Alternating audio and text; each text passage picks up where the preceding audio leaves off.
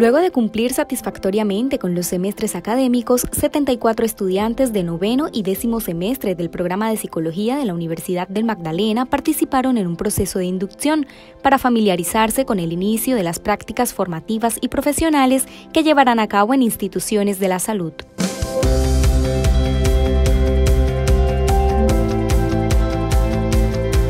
Lo que busca es formarnos a nosotros, darnos las herramientas para poder enfrentarnos en estos sitios de práctica. Nos han brindado ya lo que vamos a hacer, en qué sitios de práctica nos podemos desempeñar. Es importante que ellos conozcan las normas, los derechos, eh, la ley, aspectos de la ley 1090 de 2006, que es la que nos rige como el ejercicio profesional, y todos los reglamentos que, o leyes que rigen el ejercicio profesional.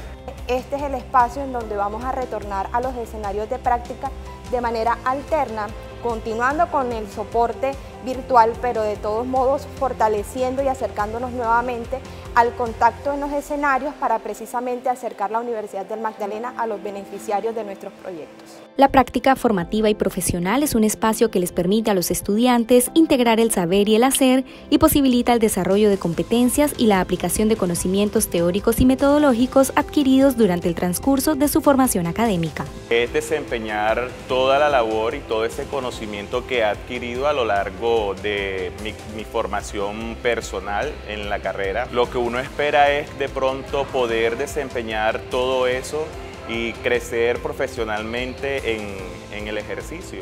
Lo que se busca realmente con estos espacios es que los estudiantes encuentren garantías en el proceso de, de la práctica formativa y profesional y que puedan eh, finalmente eh, retomar su proceso formativo de una manera segura y adecuada.